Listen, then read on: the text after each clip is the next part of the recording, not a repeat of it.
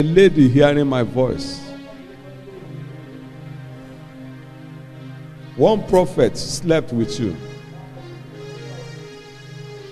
And he took your glory away.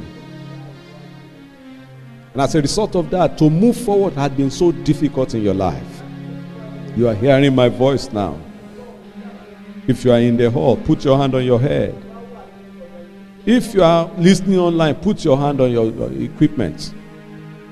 The power of the devil over your life is broken. In the name of Jesus. That limiting power over your life is broken today. In the name of Jesus. Come alive afresh.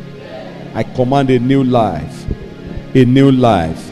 A new life. In the name of Jesus. Thank you, Lord, for answer prayer. We give you the honor and the glory. In Jesus' name I pray. Now let me go further. Number six. You know, I'm just telling you how to take your decisions. I said, count one to ten and win. When you are taking decisions on any subject, look at these 10 points. And it will help you in your decision making. You know, decision taking doesn't look spiritual. Why it is so, so, so spiritual. It is so, so spiritual. It's so serious, so critical. Because the moment you take wrong decisions, you are in trouble. Doesn't matter how much of speaking in tongues you can do. You need to know how to take your decisions. Point number six what does it cost? This decision you are about to take, what is it going to cost you? And are you willing to pay the price? The decision you are about to take, what is it going to cost you? You want to go to live in uh, Canada. Hmm. Wonderful.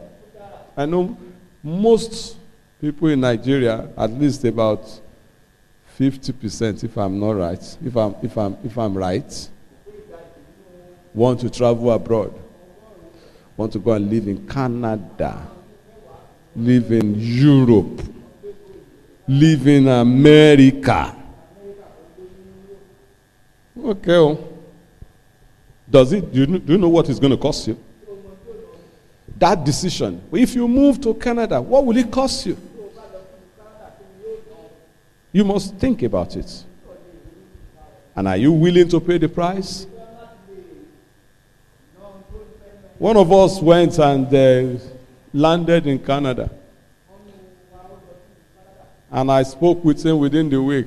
So, how are you? He said, Ah, Daddy, hmm.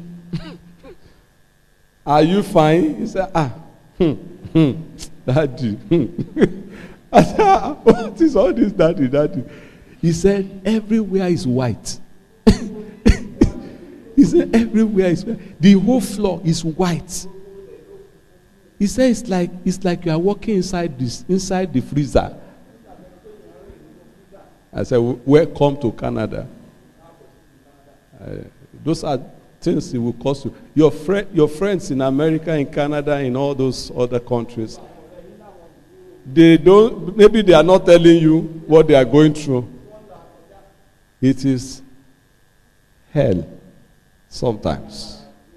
I went to Connecticut sometimes ago. It was, I think that was, was it November or December? Hey, ay, ay, ay, ay, ay. Come and see. I had to, you know the way Baba Suwe used to dress? I think the man has died now. Uh-huh. May so he rest in uh, peace. The way he used to dress, all those dresses, and then you wear. Uh, when they, they gave me a something, I don't know whether I should call that one a cap now, that has to cover my hair. Ah! Actually, it was like my, my hair was going to cut off. In fact, many times I felt the hair was no longer there. ha! Hey! Pity them. oh. They are going through hell. oh. I visited a couple. We were we were in uh, uh, what's that place called? Alberta region in Canada. In the morning, the battery of the vehicle will not even start. Ha! Sometimes you see the snow, all this one that you just go inside your vehicle and start vehicle and start going. You have to shovel the uh, what do you call it? The snow. Huh? Ah, you spray it. You scrape, you shovel it. You have to. It's not scrape. Scrape is a simple thing. You shovel. ha! Before you can move at all out of your house. Hey, hey, oh yeah. You don't understand. They understand. They are hearing me now. You understand what I'm talking about? So when you are taking a decision, you need to know what it will cost you. My boy said, Daddy, ah, ah. I said, Welcome to Canada. You have been, he had been dreaming of going to Canada for over five years. He wants to go. He wants to go. He wants to go. Every time he came to my office, Daddy, pray for me. Daddy, pray.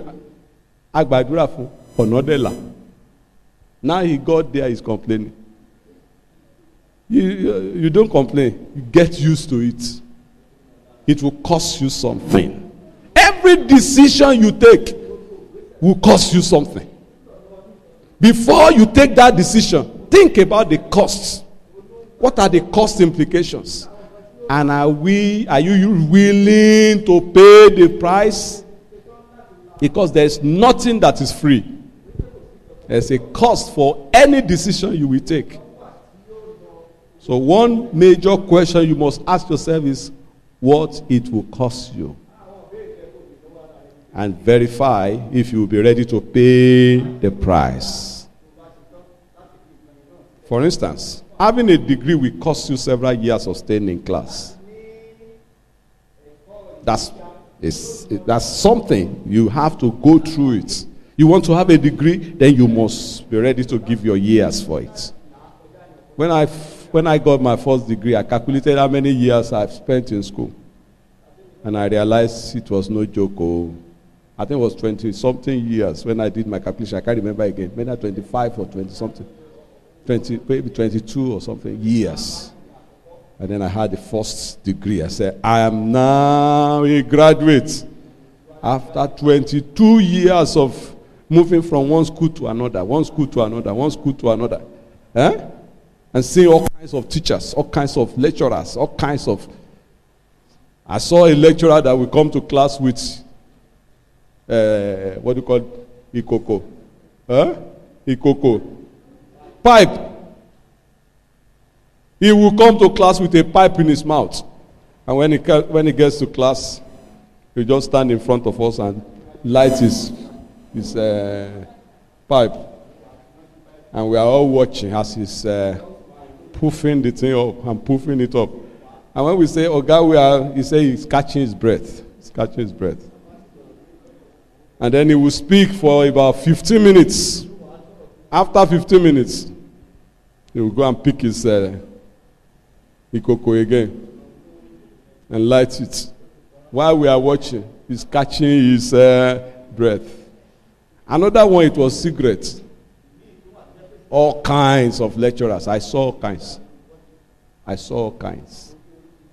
But after seeing all of that, failing several times and passing several other times, I got a certificate and I said, I'm now a graduate. Is that not what happened to you? That's what happened to most of us. You went through something to get something. So, what I'm saying is that when you are trying to take a decision, you need to know that there's a dimension of sacrifice that must go with it. You want to build a personal house of your own, it may cost you cutting down on the kind of food you eat. It may cost you cutting down some dimension of comfort that you have now so that you can build a house of your own. Otherwise, you won't be able to do it. Oh. You want to have a baby. It will cost you nine months pregnancy. as a woman. And pregnancy can be very challenging, you know. When your stomach, your stomach is just growing out. so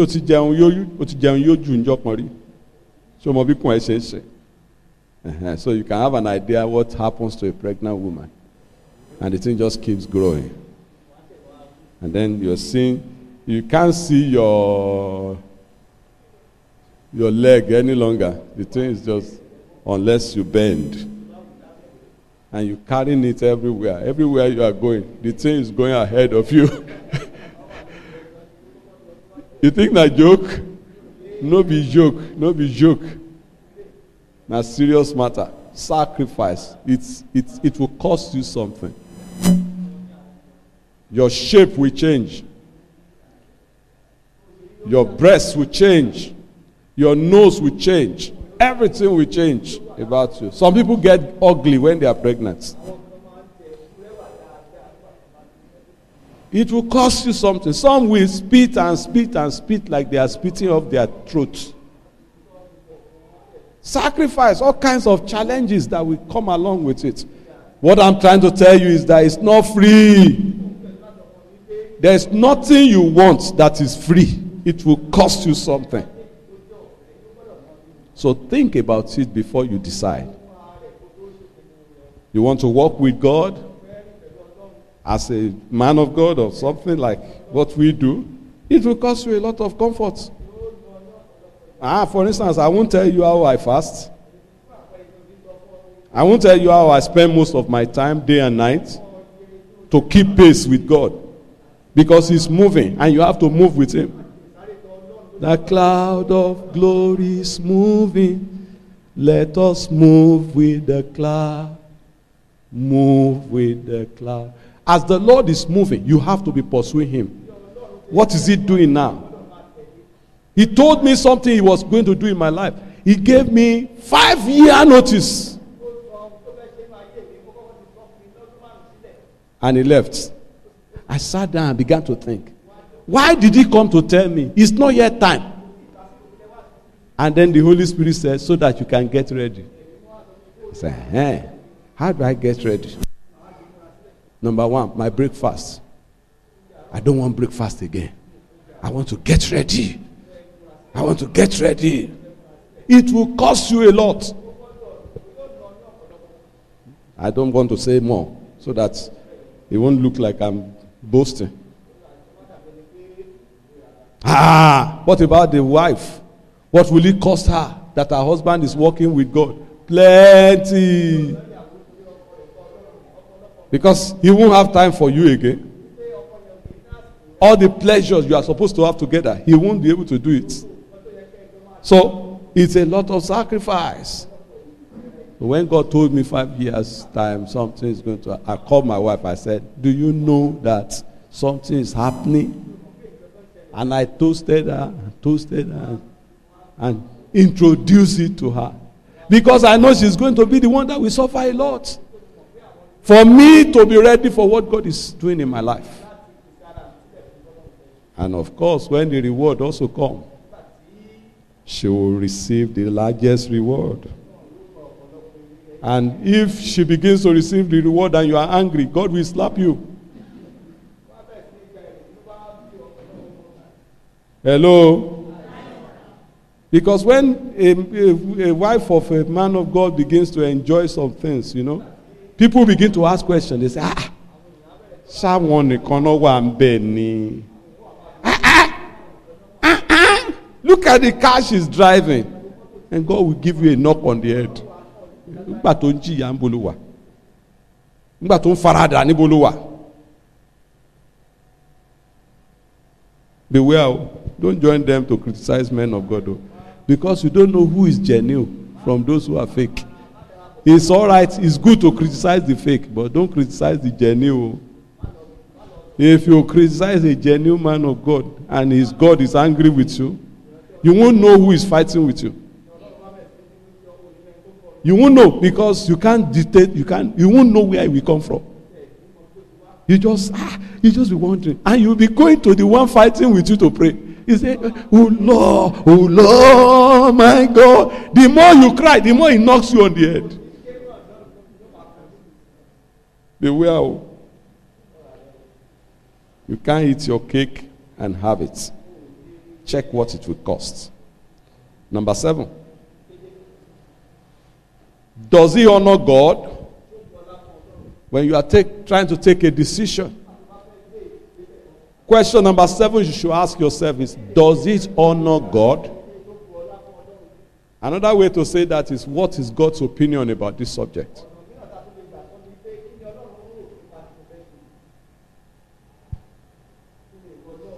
If people meet me doing what, I mean, doing that subject, doing that thing, what would they recognize? What would they think about me? Would they still recognize me as a child of God? That's another way to say, does he honor God? There are some things, when you do it, your status change immediately. People look, people look at you, people looking at you immediately conclude that you are not a child of God because of what you have done.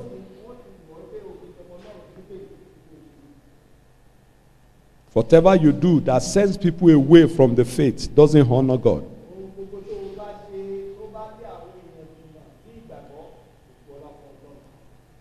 For instance, I had to handle a case where a pastor was left in custody of some computers.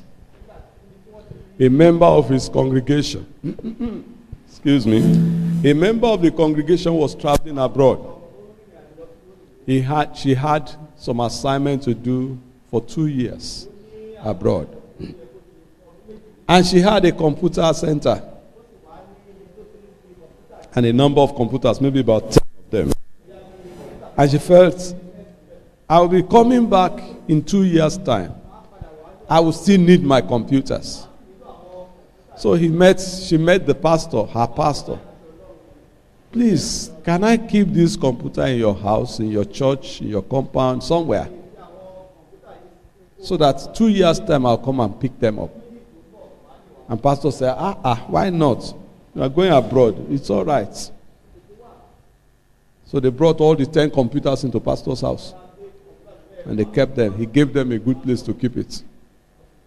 Two months after the woman left, pastor sold all the computers. And he ate the money. He said, Who goes to London and come back after two years? She will not come back. She will stay there. He sent, he spent the money. And continue life as though nothing happened. Exactly two years, like the woman said, she arrived. And she set up her office. She didn't even consider, Pastor greeted her. She didn't consider that an issue. She just went and rented a, uh, an office. She was ready to start her business. And then she came, Pastor, àwọn kọ̀ǹpútà yẹn ni mo wá. And there were no computers. Pastor had eaten all of it. And she now arrested Pastor.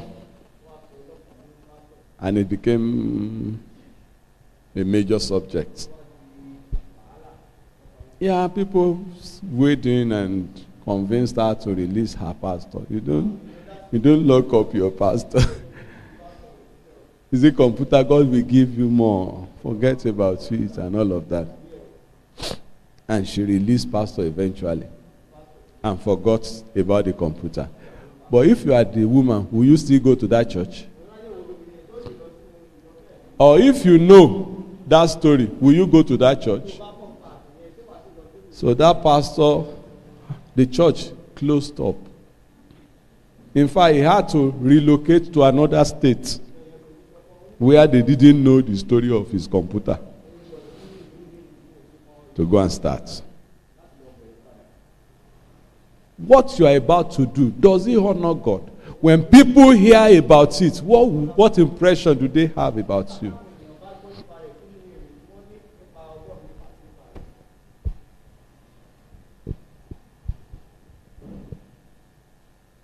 If I were that pastor, I wouldn't even allow you to keep computer with me because that's not my job. I don't keep computers. Or you are bringing money, you're needing a place to keep money. I don't have money. I don't I don't have place to keep money. I'm not a bank. You can't come and say you want to keep money with me. As who? Am I a bank? There's a bank who collects money. The other day I was here praying, and some three boys came. They prostrated, sir, uh, and they introduced themselves. They said they have a problem. This one, his father was a brigadier in the army. At so so and so time, they went to do to fight in Sierra Leone or something. And the man made some money in Sierra Leone. But he couldn't bring the money into Nigeria because of the kind of job that he was doing as a military officer. So he kept the money in Sierra Leone. Now, the man has died. And he is the sole, sole, what do you call him now? Next of kin is the one who wants to bring the money into Nigeria. And the money is large. They call the figure. Some figure that you don't want to be hearing because it will make you angry. they call a huge figure. They say they want to bring it into Nigeria. And they know that if this boy should bring that kind of money into Nigeria, uh, FCC, EFCC will be after him. He said, but they know that I'm a man of God, respected. And I go and come out and into Nigeria. So they know that if such a money pass through my account, there will be no problem. So they want to pass it through my account. And they are going to give me, they told me the percentage, I can't remember. Very nice, scintillating percentage of a huge, impossible money. And they said, we, we, we were thinking that the man of God we should meet is somebody who is committed to evangelism because we want to be sure that the money goes to the work of God. And so we have chosen you, sir. So we have just come so that we can agree. We will bring document, we will sign, and then the money will pass through your account. Ah. I didn't need to pray. Instantly, I just told them, I am a servant of God. I am not a money money handler. I don't handle money. Even the offering in church, I don't handle it. Some other people count it. I asked them, Have you come to our church before? One of them said he has come before. Uh-huh. Did you see me count offering? When we give offering, I'm the first person to give. And uh, after the service, I carry my iPad or Bible and I enter my office. Some people count the money and take it away. I don't touch money. So that I can focus on my job of praying and preaching. I'm not telling lie. Is that not the truth? That's the truth. They said so that we will have money. I said, I don't need money. The one who gave me the assignment I'm doing provides the money I need. I'm sorry, oh. You can't pass it through my account. Later, I learned that they were fraudsters. That's the way they cheat people around. They go around and they collect your account details and then they begin to attack you. But the mere fact that I already have solution, I know who sent me on errand. He has already solved the problem before he started. So what I'm trying to say is this. Whatever we know honor God, don't do it. Now, if I give them account and they now, assuming that they are genuine, and they now bring that kind of money, and EFCC now comes to arrest me, money I don't know where it's coming from. What will you say about me, by the way? Beware now. Don't, sori, téèyàn bá ti fẹ́ máa jẹ gbì a máa kú gbì. Somebody was duped and I heard about it. I asked him, how did it happen? He said they came and told him that that there was this business about uh, gold, you know, precious stones, and something and something and something. I said, Are you, do you sell gold? He said, The thing is a, a very fine business. Okay. ẹni tó bá ti ń wá fà there are some routes you should not even pass he maketh you to lie down in green pastures he taketh you through paths of righteousness for his name's sake paths of righteousness anything that is not righteous that will not give glory to god don't do it. Don't get yourself involved in silly silly things. Does he honor god? This thing that they are talking about does it give glory to god? I remember when I was going to, let me leave that subject and go to another direction. In example, in 1985, when I was going to choose who to marry,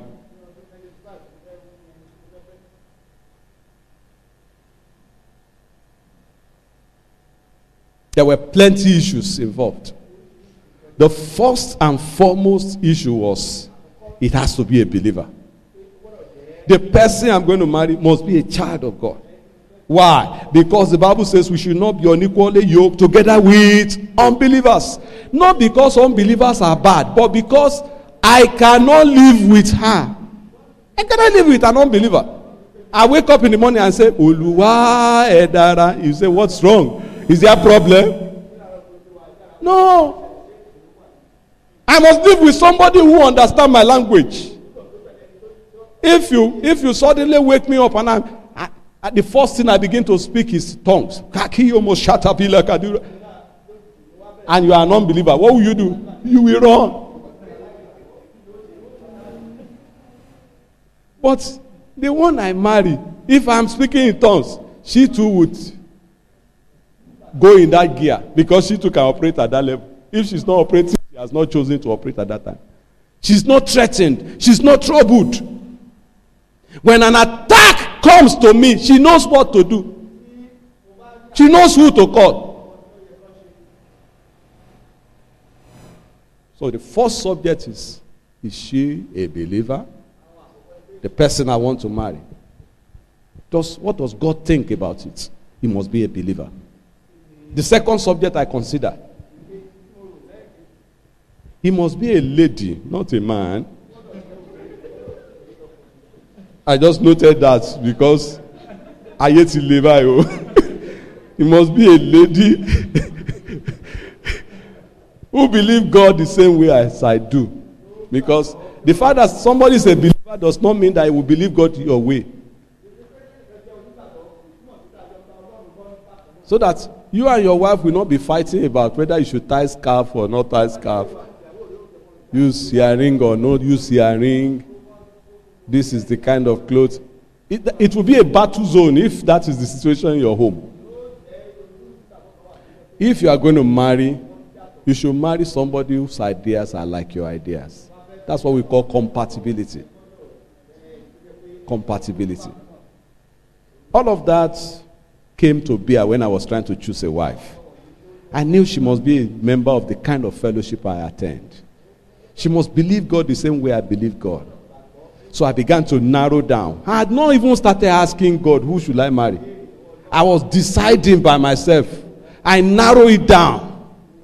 And I began to look around me at people who are around me. I have not even asked God any question. I'm talking to myself. Who should I marry? And I began to pinpoint. And I got a number of ladies, a number of them, maybe about five, that I began to zero upon. Don't deceive yourself. There is the dimension of your factor. You have to do that one by yourself. And when I was trying to do that, I wasn't looking for figure eight. I wasn't looking for a beautiful lady. Because beauty, the Bible had spoken about beauty before. And I discovered my mom, my mom, I didn't, my, the reason why I respect my mom is not because she's beautiful. It, it, it didn't matter whether she was beautiful or ugly. What mattered was that she was my mother and a wonderful mother, a loving mother. So I wasn't looking for a beautiful girl to marry. I was looking for a, a lady that will be a mother to my children, a lady that will be a good friend to me, a lady that will love me all life, that I can love all life. So I zero to about five of them. These five people are committed to the things of the kingdom. They can die in it. Not the yo yo type. Yo yo type are good, oh. Yo yo man, marry yo yo girl. Your home will be in good order. There will be no problem. Both of you are yo yo. But if somebody like me marry yo yo, one of us will kill the other. because too much of fasting will kill a yo yo.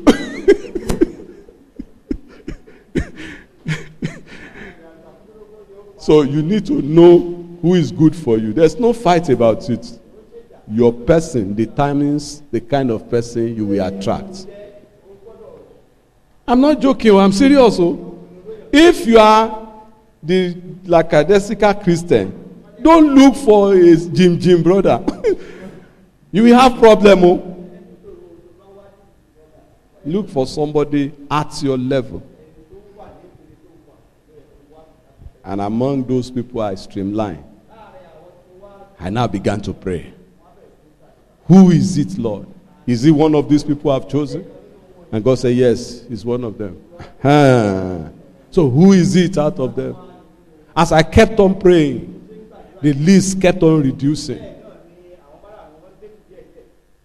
Because the Holy Spirit will say, No, no, no, no, no, no, stop about her. Leave her alone. She's not part of your life. Okay. There's no argument about it. Because I'm only trying to know, not that I'm arguing, not that I'm, I'm deciding, I'm fighting. What am I fighting with God about? He knows tomorrow, I don't know tomorrow. After some time, it remained two. Two of them. And it became more difficult. The two of them were so close to me. Each time I was going to preach somewhere, they go with me. This one we go, that one we go. We carry, carry Bible all of us, we will die in the village, we will do all kinds of. They follow me everywhere. So I was struggling. Which one? Which one, Lord? Which one, Lord? And you know my heart now as a person. I began to like one more than the other. I said, it should be this one. My mind was going that direction. And the Holy Spirit came and said, God does not look like man looks. It's not the way man looks that God looks. And since I don't like what he's saying, I push it aside. Because he was telling me not to look the way I'm looking, but I didn't listen. I kept on looking. And then he showed me a vision. And he showed me that this is my wife. Okay, Lord, no arguments. But I want to be sure you are the one speaking. I kept on praying. Another first, another week, he told me again. In another way. I said, okay, two or three witnesses. That's what the Bible says. I want more. Give me more witnesses. I want you to confirm it. Make it clear. A friend of mine came from Ibadan. I was, I was in OAU. We were in OAU. He came. He said, ah, Brother Benga, you know what God is saying to me about you? God is telling me that it's time for you to choose a wife. And I laugh at him. I said, ah, ah, you want to be the pastor to join us together? Wife, come. Concubine. And we laughed and we began to talk. He began to talk. He said God told him that there are two ladies that I'm involved with. And I'm trying to decide between the two of them. He said, The one that I'm looking at most is not the one. He doesn't know the two ladies, so, but he knows that it's not the one I'm looking at most. It's the other one. And that was exactly what God had been telling me. So I accepted God's plan. And I got my wife in 1985. 85. This is 2022. How many years? 37 years. In 37 years, there hasn't been one single day that I said, Why did I take this decision like this? Oh. That I felt sorry, unhappy that I took a wrong. Ah, ah, ah, ah, ah, ah. ah it's excitement all through. Because I got it right. But the focus was what is God's opinion? I want to please Him. I want to have it the way God wants it. So, number seven, what is God's opinion on that subject? Number eight, the number eight question you should ask yourself is where is the best venue for it? Where is the best venue for it? Now, this question may not be relevant to every subject, but a number of subjects you need to ask that question. The subject of venue. Because there's a venue for everything in life. God told Abraham to relocate to Canaan. He asked Isaac to remain there in Canaan at the time of famine. And he obeyed and prospered. His own son Jacob was struggling in a different land, Haran. And God went and met him and told him, Go to Canaan. That's your land. Because there's a venue for every vision or assignment. There's a venue for each person in life. There's a place where you should live. The kind of assignment you have chosen may determine where you would operate. Because there's a specific place that can make your operation efficient. And there are some venues that can make life complicated for you. But it's not good for you. Thank you. It's not good for you to take your decisions on physical parameters alone. You should allow God's input in your decision. Number nine, what is the hurry about? You must be careful about anything that places you on the spot.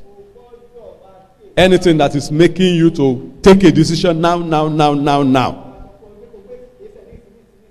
In most cases, it is the devil that is putting you under pressure. He's the one that wants to make you take an immediate decision that you will regret tomorrow.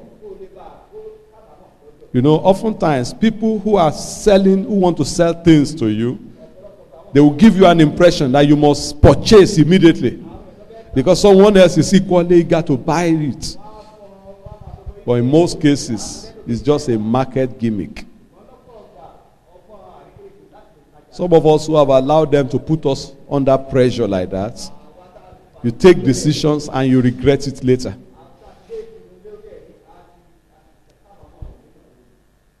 Relax. I remember some years ago, I was living in Ife at that time. And I was driving out of town, going on a journey to Oyo. And I got to a filling station. And I saw about four, or five vehicles waiting to buy fuel. It was around 6.30 in the morning. Early in the morning. As I saw them, I said, ah, they are selling fuel in this place. I looked at the tank of my vehicle, it was half tank. That should take me to Oyo, but it will not bring me back. So I said, shouldn't I buy fuel here? And then I was in a hurry. I said, ah, I don't want to delay. Let me go, let me go, let me go. I'll buy fuel. There are other cities on the way. I'll buy fuel. And I moved. When I moved a little distance, the Holy Spirit said, Go back and buy fuel in that place. I said, I'm in a hurry, I'm in a hurry. I'm in a hurry. You know, Lord, that if I don't get to you on time, this man may not be there. I was, I was a contractor at that time, going after a contract. Aaron. I went. A little more distance, the Holy Spirit said, I told you to buy fuel in that place. I said, I left the place since. Will I go back? He said, It's easier to go back now. I said, No, Lord, let me keep going. When I get to Ede, I will buy fuel. Uh, if I don't buy in Ede, I will buy in Iwo. There are towns on the way. Let's go, Jari Oluwa. I want to get to Oyo before, before that man leaves the office because I have learned that he will travel. Okay, keep going. I went. When I got to Ede, there was no fuel anywhere. I said, okay, I will get to Newo. When I got to Iwo, there was no fuel anywhere. Ah, kilo? Wọ́n don't you know that there is fuel crisis? I didn't know. Where can I get fuel? They said there's no place in the whole of Iwo where they are selling fuel at that time. Ah, okay now. So I stopped accelerating. I started using neutral. I started managing my fuel. Started, I will run and then jack it into neutral and keep going. You know that kind of thing. When I was, as I was approaching Oyo like this, my fuel finished. So I parked the vehicle and went by Okada. There was no station in the whole of Oyo town selling fuel. Ah, trouble, Oluwa. Now, number one, the man I was pursuing was not even in the office. He didn't even come because of fuel crisis. Meanwhile, I was already in crisis myself. Thank God I saw some black market and I was able to buy two gallons of black market with the money that would have fueled my entire tank. I bought it, two gallons, poured it into my vehicle, and the thing started. And with that one, I drove back to Iwo. You need to know how I can pray. I began to pray. Oh Lord my God, there must be fuel in Iwo. There must. Ah, maybe it wouldn't have been like that. And then I eventually got to a Iwo and met fuel in one station. There was one station that was selling. Come and see the queue. It was another thing, but I had no option. I just joined the queue and we were fighting, fighting, fighting, fighting until eventually they sold to me. What did they say? 15 liters. They were rationing it 15, 15 for every vehicle, 15 liter. That 15 liter, I use it to drive from Iwo to Ilefe. And the thing carried me to Ilefe quite well. He finished at the filling station where God said, buy fuel in the morning. That's where the fuel finished. Now, when I got there, there was a queue of over 30 vehicles waiting for fuel. I just joined the queue. I thought they were selling. When I got, in, got to the place, they said they are not selling, they are waiting for fuel to arrive. My vehicle was in that station for four days. Is it three days or four days? Can you remember? I think three days or four days. My vehicle was there waiting for fuel to arrive because there was no other place in the whole zone that had fuel. And then on the fifth day or so, we now got fuel. We started selling. I stayed there the whole day before I got fuel that day.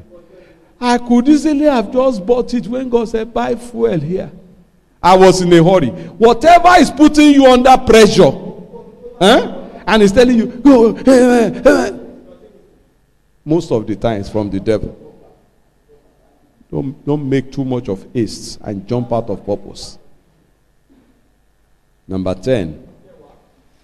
Who can we trust? Who can be trusted? Or maybe you say, who is best fitted for this decision that you are taking? Who can you relate with on this subject? Many decisions you will need to make has to do with who to depend upon. Someone told me how she needed to keep some money in an account, and her own account was not good enough. And she kept the huge money in another man's account. The problem was that the man spent the money and landed her in trouble.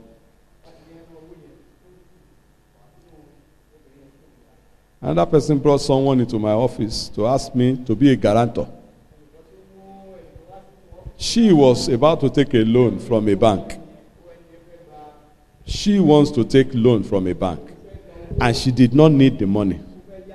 But this other fellow, this other brother needed the money. So she would borrow money from the bank and give to this brother. And she want me to be the guarantor. Me. Guarantor that he will pay back her money. Both of them were members of my church. I looked at her like this. I looked at her and I told her, You are such a fool. Such a fool you will take loan from a bank and give it to this fellow to go and spend. Mr. Fellow, I cannot guarantee you. I can't guarantee anybody on that kind of thing. What's my business? A loan from a bank. Ah. Some people have mind, you know. You can borrow money from a bank. In fact, in the first place, I don't know why you want to borrow money from a bank. The bank, they, they, they, let me not say things. They are so cruel, so callous. They survive by cheating you. They cheat all of us, don't they? Don't you see all the money they draw from your account? Don't mind my interpreter, he works in a bank. He may not want to say what I'm saying. they keep on deducting your money, deduct this, deduct that. And you go and take loan from them anyhow. Interest, interest. When you go to bank, they, there are plenty things you need to, to, to sign. And they don't allow you to read them. They just tell you it doesn't matter. Just sign here. just sign here. And many of us, because we are in a hurry, you just sign. Kówó ṣáà jáde, kówó ṣáà jáde. And then somebody will now go and take the loan and give it to somebody else to spend. And then I will be guarantor. go and do it, but remove me from the matter. That's your own headache. Who can you trust?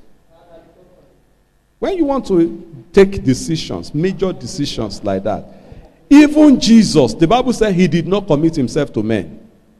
He didn't, because he didn't allow men to decide his things for him. And he told us, Be, I'm sending you as sheep in the midst of wolves. Be, be gentle as doves, but wise as serpents. Be gentle. Huh? Don't fight with anybody. But watch yourself. Don't get, don't let them destroy you. A while ago, I was somebody was a member of our church, was an able boy. His life was so, so, so miserable. No help for him. And I wanted to help. I pray, pray, pray, pray. At a point, I felt this matter goes beyond prayer. And there was a lady I knew who was the director of a, an uh, iron, iron melting company. And I met with her. Can you do business with my church member. Give him iron rods and let him pay. I she said, Why not? Anything for you, Pastor. said, But you need to see my chairman. The chairman is her father. She was the managing director. And the man came, elderly man, about my father's age mate. I went to see him. He gave me good wine, not alcoholic, he knew I'm pastor. I don't know whether he drinks alcoholic, but the one he gave me was not alcoholic. And he took care of me. Had a great time. He said, Man of God, I learned you want to do business with us. I said, Yes, sir. Actually, it's my church member. He said, Your church member or your son? Yes, it's my son, actually, but it's my church member. Okay, what's his name? I mentioned the name. He said, It's even Igbo. Are you Igbo? I said, I'm Yoruba. He said, Ah, man of God, you are wonderful. You are wonderful. And he kept on looking at me. He kept on looking at me as I was talking. After all the talking and talking, he said, Sir, hold on. He said, In terms of age, I think you will be about the age of my son. I said, Yes, actually, sir, you should be about the age of my father. So you're a father. He said, You know, the first, you know, each time my trailer land in this your boy's shop, you'll be bringing items worth about 120 million. Just one trailer will bring about 120 million to him. And you want me to give it to him, and he will pay after. He said, Because of the relationship you have with my daughter. Of course, I can do that. But if your boy does not pay my money as at when due, I won't go after him, I'll come after you. And I would not call you man of God at that time. He said, I give you one week to think about it. If your answer is still yes, talk to my daughter. She already has my word on it. But when the matter comes up, oh, ah, Morario, I thank him profusely. Thank you so much, sir. Thank you so much, sir. I didn't went back. I didn't go back. I didn't go back because this guy himself, I don't even know his house. I don't know. I don't know his people. I don't know anywhere he came from. I don't know his town. I don't know his village. Even the one I know his house, I know his wife. I, would I would I swallow him if he doesn't pay the money back? what will I do? the Lord will help you in Jesus' name. So don't put yourself in the hands of people. I don't know why you go and put your money in somebody's account. Open your own account and put your money in your own account. Any transaction you cannot do, don't do it.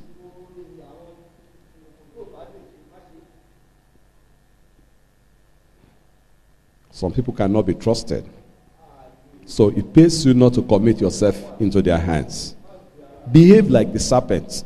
Hide yourself from their hurtful hands so that they will not hurt you and destroy things that, be, that are precious to you. Even Jesus said, Cast not your pears before the swine. So you let God lead you about men. The Lord will help us in Jesus' name. I think I should stop there because of my time or because of our time. Thy loving kindness is better than life. Rise up. Thy loving kindness is better than life. My lips shall praise you.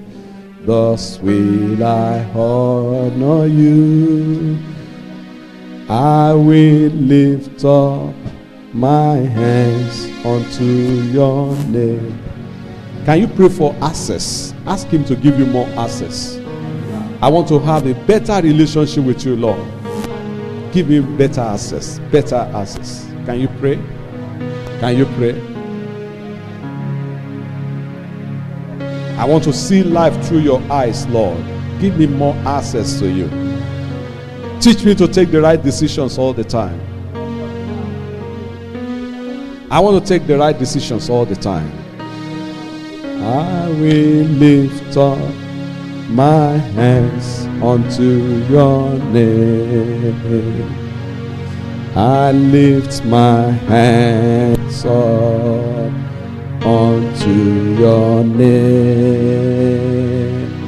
I lift my hands up unto your name.